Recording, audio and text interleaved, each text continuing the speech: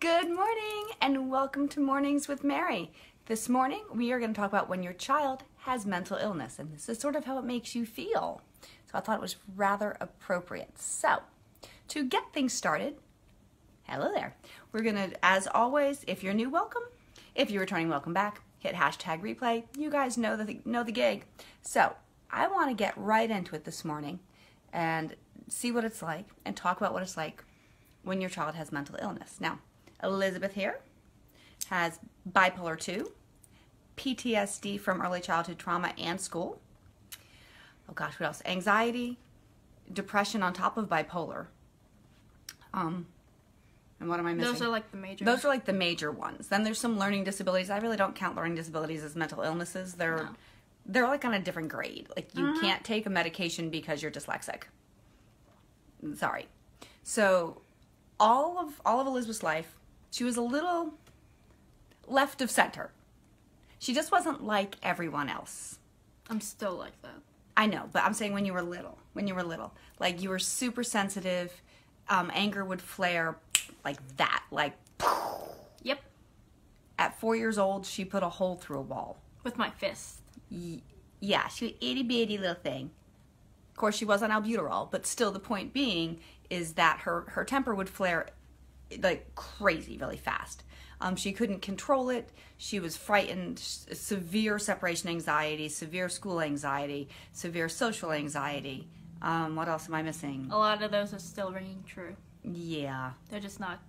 controlling your life. Yeah. And that's what I want to talk about. I want to talk about so you let's say you have this child who's really struggling and as a parent it's absolutely heartbreaking because you can't fix it. Like it, you feel like when you're a parent that you have to be the carpenter and the fixer. Yep. And you can't. Nope. You can bring them to the doctor, you can try to make sure you get the right medications. If your child is struggling with anxiety, depression, schizophrenia, any kind of mental illness, take note of this. There is a test called Gene Sense. I believe it's G E N E S E N S E. Look it up.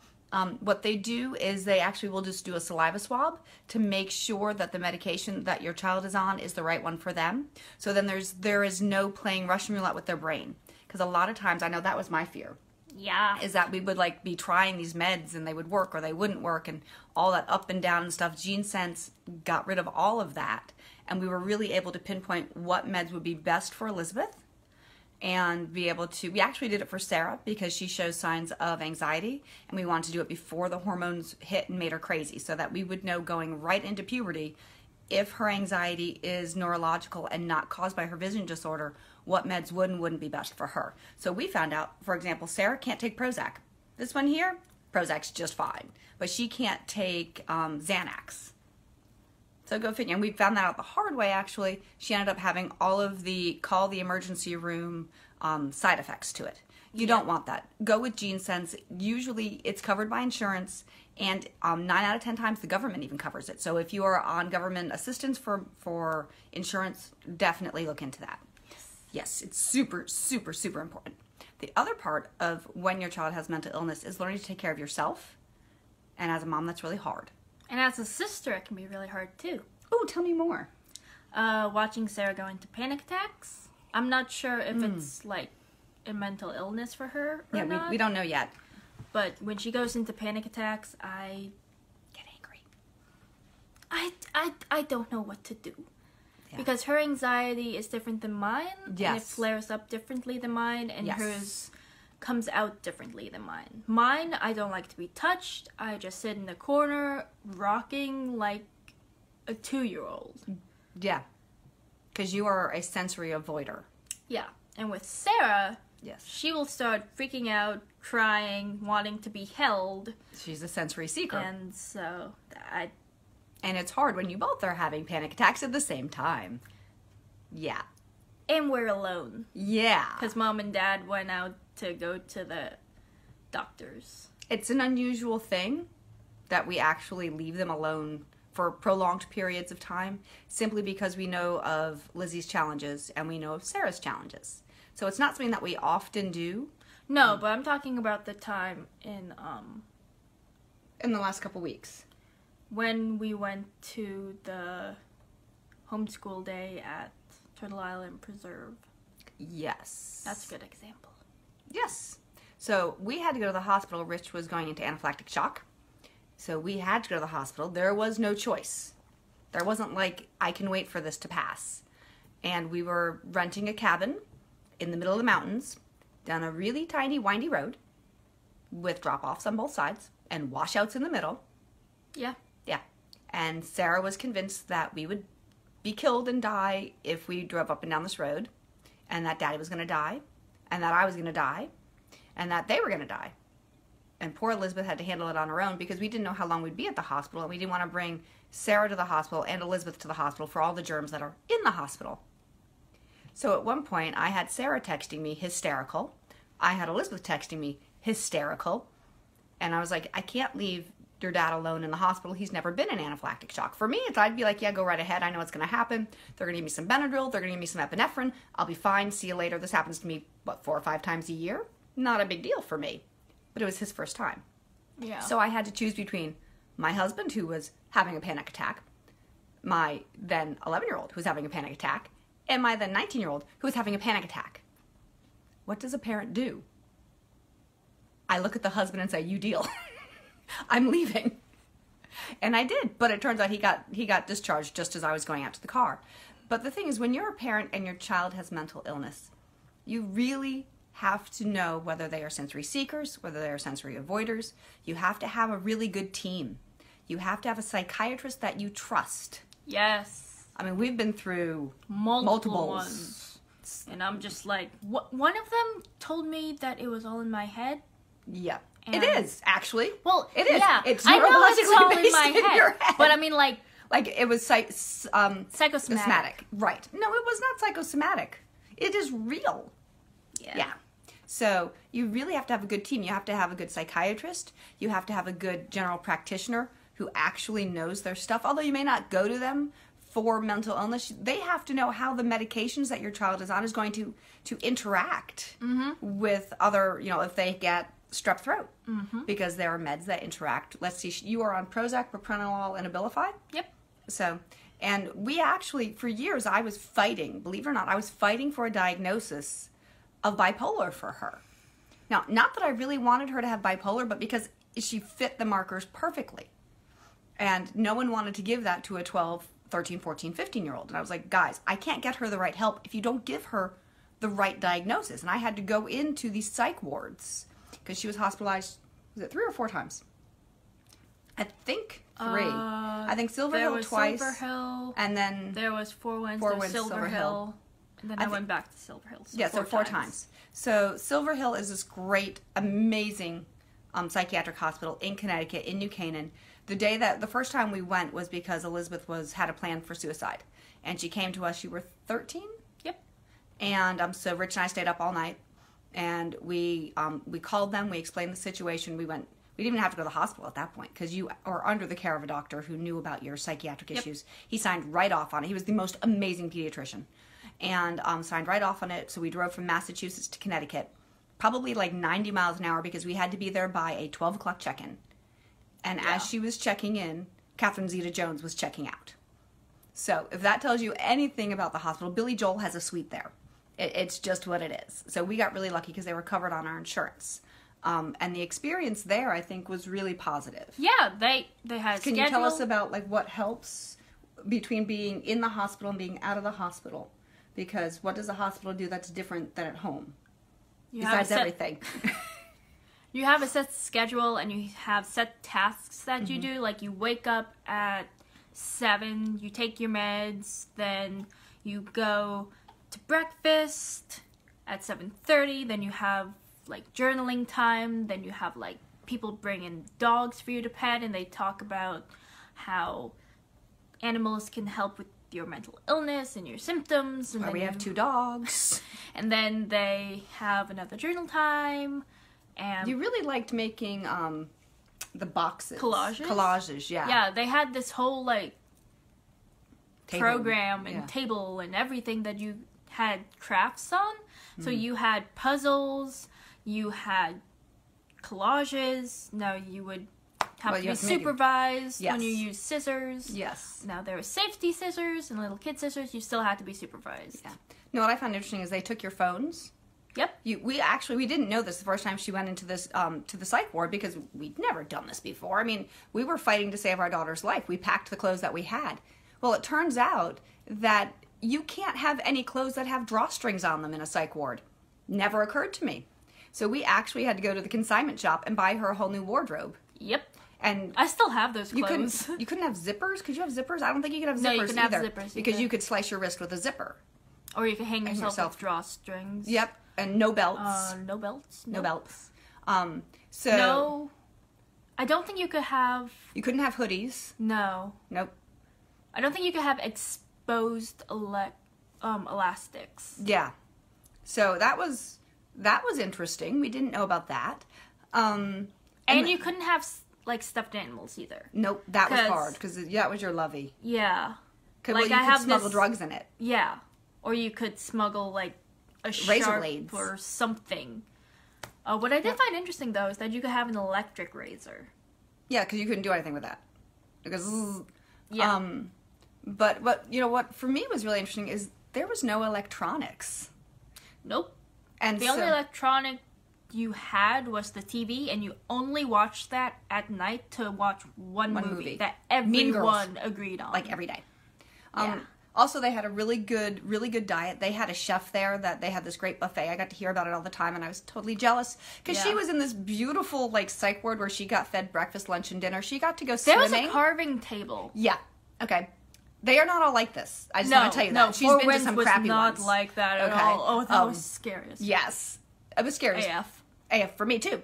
Um, so, but Silver Hill was great. So, if you are like in the Charlotte area and your child is over 18, um, I believe the place is called Hopewell, which Yep. is similar to Silver Hill, but It's they only take adults. Yes, they do gardening, they do animal therapy, they do art therapy, they do music therapy, but you have to be over 18. Yes. I don't know any other resources here in the Charlotte area just because we haven't used them. we haven't needed them We almost did once. once. once, which is But- awesome because we've been here like four years. No, Yeah. no hospitalizations for four years. Yes. You also have to know when your child's triggers are. So for whatever, And what they are. Yes. So for whatever reason, um, August through October for Elizabeth, we haven't really been able to figure it out. I have some ideas. She has some ideas. You know, I know August would be triggering back to school, but she's 20. Why would that still bother her? Um, I also know that she was molested by her father in July as a three year old, but he wasn't really caught or interviewed until August, and there was all this hubbub at that point. Maybe that comes into it, but she was three. You know, a lot of times I don't remember cell- that. cellular memory um, only hap- it happens obviously in the body, but not in the brain. Yeah. So you don't know why you're reacting. Um, but those we know those 90 days are really really hard for Elizabeth, and we keep a real close watch on her. We make sure her diet is good. We're constantly like, are you hydrating? Where are you? Set your goals for the day. And one of the things that I learned, you know, when you come home from the hospital, every time is like, Mom, I need a schedule. Amy says, impressed with how you guys share your stories. You're helping so many people. Oh, I, I'll tell you at the end of this one about about a comment on YouTube I got this morning, which was like, or last night, which totally made my day. Um, but you know, being able to talk about this is really important because it destigmatizes it. We need to get to a point where you know having it used to be having diabetes was something you kept in the closet. Now everybody's like, oh yeah, I have diabetes. I give myself insulin shots. There are, there are ads all over the place. Well, having mental illness, you know, over eighty five percent of people suffer from anxiety and or depression. That's a huge amount. I don't know what those other like 15% are doing that. I suffer from it on and off anyway. Um, but when it comes to children, they're it's starting as early as kindergarten. Yeah, I mean it's it's crazy. Suicide rates are the highest they've ever been. So I want to walk you guys through the different. We only have experience with two different psych wards. Something you're going to learn if and when you ever have to hospitalize your child, you lose your parental rights. Yes. I did not know that because we'd always been to this great hospital and we could come and go during visiting hours and we had connections there. We'd known someone that had worked there for 20 years so he could sort of pull some strings here and there for us. Um, and luckily he looked like he was her biological father so we could go in and be like, oh yeah, Uncle Mike is coming. So that was kind of cool. Um, but you can't have other people visit. And then, then Rich was unemployed. And Elizabeth came to me one night at midnight. He was visiting his son in Albany, New York. And she said, Mama, I, I need to show you something. It's never good when your kid wakes you up at midnight and says, I need to show you something. Chances are it's not a great piece of artwork. I thought it was a great piece of artwork. It did not belong in a museum.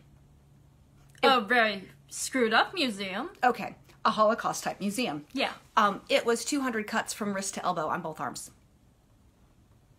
Yeah. Yeah. So I got up, I gave her a hug, I thanked her for showing me and for trusting me. I told her that at this point I had no choice. I had to hospitalize her because I couldn't keep her safe at home. And I made a pot of coffee. I called Rich, let him know what was going on. She fell asleep on my lap on the couch crying. I drank an entire pot of coffee by myself, which is a lot. I normally maybe drink one or two cups a day. I called the insurance company, and because he was unemployed, we were on government assistance. And the nearest hospital that would accept her was something called Four Winds. Well, Four Winds used to be a great hospital. You notice that past that past tense, right? So we go there, we bring her. It was terrifying. There Beyond was terrifying. screaming. There was fistfights breaking out. I got locked in my room. Yep. Because there was some girl that wanted to kill another, and she was running after her with a knife. Yep, you were getting threatened to be raped by the girls there. Yeah. I I tried to fight to get her out, and they said if I if I signed her out because I didn't know I'd lost my parental rights, they explained that to me. If I signed her out, they would have me arrested. So I had to keep her there for ten days. Yeah, it was the worst ten days of my life. I can't speak for her because I wasn't there. I'd go to visit her, and she would be so pissed at me. She wouldn't even talk to me. I mean, it was horrible and, and terrifying. But a positive thing came out of that. What's that?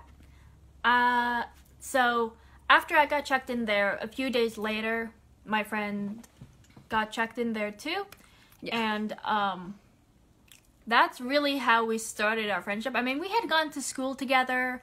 I had seen her in the hallways, but There was no friendship yeah, It was just you were- It was just like I knew of, of, her. Yeah. but it was funny because I so there's this check-in area Mm-hmm. like the main room and then there's a hallway she was standing in the hallway I remember that. i was standing In the check. in in the check-in Yeah. and we look at each other and we're You're just like- like, i know you I know, but then you had to act like you didn't know each other. yeah and then we like completely ignored each other and then Yep. one night we sat next to each other at a movie because they always play a movie at the end of the day and we started talking and we're still like really good friends now like we still talk we Yep. still Her mom is actually the one who told me three years ago that you were cutting again. yeah and that because her mom and I kept in touch. And uh, Miss Elizabeth here, um, they say that struggling with cutting is worse than struggling with an addiction to heroin.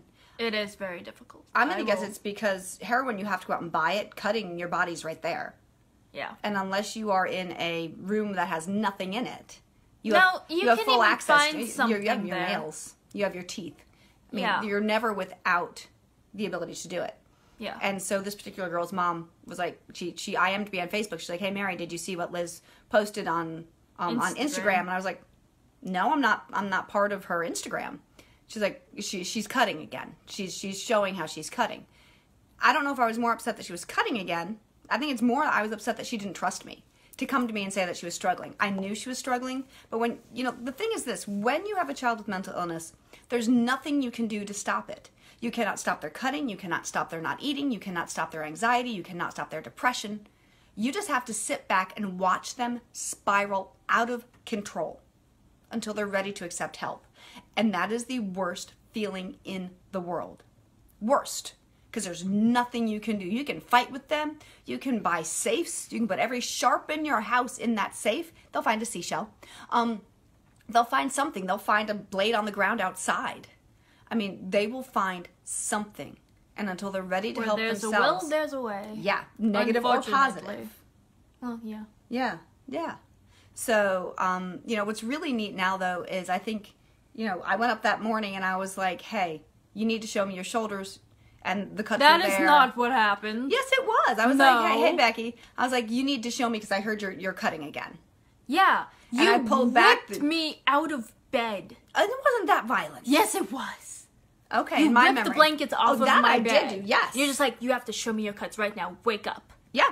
and I, I was like half awake half asleep and I was like what and you're just like, I know I you're cutting again. Yeah. I was Show me I was your pissed because I was terrified. So I showed her, and she just got really angry. Oh, yeah. And then she sobbed. Yeah. And I just like, in those You- and you were situations, like, I, "F you, I I shut down. Yeah. I get angry and then I shut down Yep. because I don't know how to handle Yeah. the situations. Even though I had been there multiple times before, And you had created it yourself. I didn't know how to handle the reactions and Yeah. the responsibility of having to deal with whatever I had just done. And what did I tell you in that moment? I don't remember. Oh, yes, you do. That was when I said, if you're going to continue to do Oh, this, right. it's all on you. Go for it. She looked me in the eye and she was all teary and she said something along the lines of if you're going to continue to do this then I I have to accept the fact that I may wake up one day and you will just be dead. Yeah. I have to accept the fact that I can look myself in the mirror every day and say I did my best. Yep. It's pretty horrible. And I still know that. Like on days when you're really struggling, and there are times it still happens, not that you're cutting with days that you're really struggling, that when I go out or Rich and I go out, I don't know if I'm going to come home to a live child. And it's terrifying. I am well aware that every single day you choose to spend on this earth may be your last. Because you may choose at any time, the disease may win. Yeah.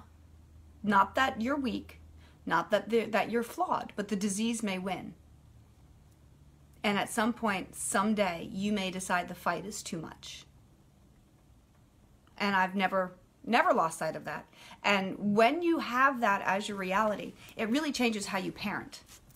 It's like what's really important? Is fighting over a class important? No. Is fighting over whether or not you're going to pierce what part of your face important? No, it's really not. So you have to understand that every day, whether your child has mental illness or not, every day you are given with that person in your life child, spouse, parent, whatever your relationship is it's a gift. Yeah. And you really have to understand that it is a limited time offer with an unknown expiration date. Yeah, why you look so sad? Because I don't want you to have that fear still, but even I still have that fear when I'm struggling. Yeah. Because that so many years of struggling and the first thought is just kill yourself. It'll be easier. Yeah. You won't have to deal with anything. Yeah, and So- in five years, will it matter exactly? What is your child's worth? Exactly, Becky. Exactly. Yeah. And you really have to start examining that. You know, if you find your, you totally get it and been there, yeah. And it changes everything. Everything. Like, how important is it that they, they left the cookie stuff on the counter? Is it important to teach them to clean up? Yes, it is. But is it going to matter in five years? Probably not. It, it gives a different weight Yeah. to, to the world and to what you react to and to what you do. I think it gives it a heavier weight. In some ways, yes, but in some ways, it releases you because then you don't need to get upset over all this little piddly shit that society tells you to get upset about. Like, oh, they colored their hair. Oh, they got tattoos. Oh, they pierced something. Who the hell cares? It's their body. Is it harming them? No, it's not. Is it encouraging them to be who they are? Yes, it is. Roll with it. Now, I know recently you have changed what you've chosen to do and how you've chosen to live your life. So, can you give us some examples of what's working for you? Yes. I would love to hear them. Okay, so for the past, it's been like a week. I know it's been a week. High five. We're doing going on seven days of Yeah. good things and every day celebrate. And if you have a back, you know, if you walk back, it's okay. Just pick yourself up and keep going. Dust your knees off and go. So what I've been doing, which has really been helping me, is um Bex says, Mom in trouble with colored hair is a problem. Yeah, I know, girl. Rock your neon self. that's awesome. I love it. But what I've been doing, I've been keeping a positivity journal. So every morning I wake up, I have some coffee, and I sit down and I write my morning affirmations. Like, I'm loved, I will live a productive life, I'm cherished, and I can be myself without being apologetic. And then in the afternoon, I write positive things that have happened so far.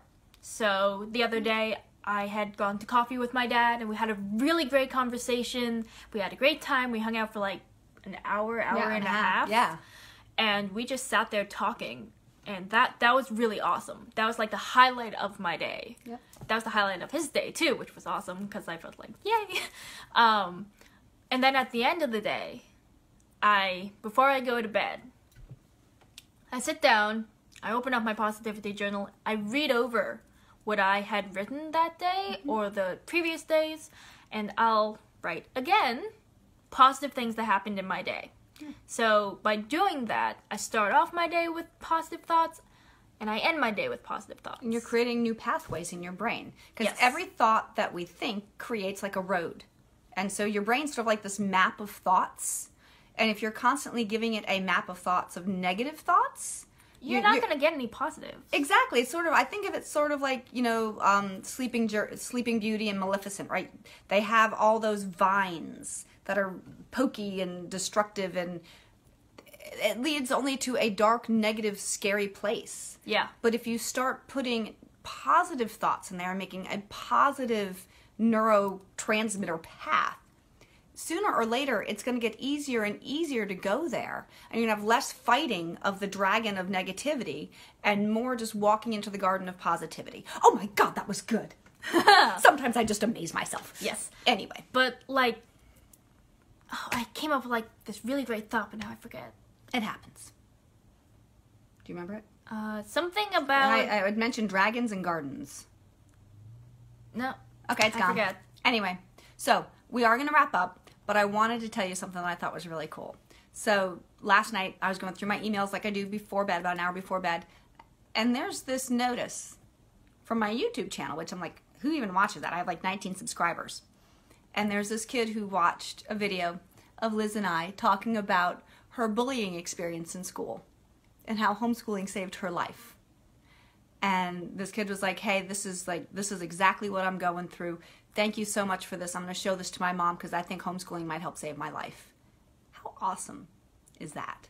I thought i was like oh absolutely. So tomorrow if you guys are obviously watching this on the replay at this point rich is going to be on with me and he's going to talk about the fears that men have for self-led learning and bringing your kid home i know can you believe it we're going to have the man here He he can talk.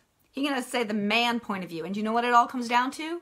Fear. The money, the money, the money. Oh. It all comes down to the money. How can they be happy if they're not gonna be able to make the money?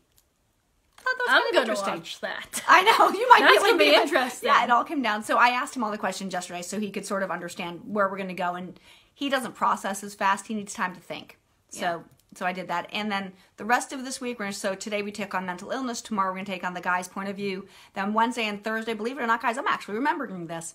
Wednesday and Thursday, we're going to take on self-led learning through middle school on Wednesday and through high school on Thursday. Because I want you to understand there's a difference between radical unschooling and self-led learning. One has no goals and you're just learning as you're going, and the other has goals and tasks. There is a difference, all right? Same thought process that it's child driven, but one has an end result and a goal, one does not. Totally fine, just whatever makes you feel better. We're going to talk about the one that has tasks and is goal driven. Okay? Um, then Friday we'll do the recap. Take us take a hop by maryherrington.com because there's some new blog posts over there. There's also a free homeschool 101 binder. Whoop! Homeschool 101 binder and you can get the first chapter of From Stress to Best and if you have been wanting to work from home, there's actually a free download of the Braless Visionary on the freebies page. So the Braless Visionary has helped over 2,500 women around the world. I still have to take, go through that. I know, take their passion to idea from implementation so that you can work from home and not have to sell multi-level marketing stuff. All right? Or yourself. Yeah, that that's true. Yeah, I'm totally not into that. That's why I don't do like silk milk commercials. Anyway, all right. I will see you guys tomorrow with the man sitting right here, same time, same place. Tune in. Let me know if you watch this on the replay. Give me a thumbs up, a thumbs down. Give me your other half the heart, a heart, and let me know what you thought. I'll see you tomorrow. Bye bye.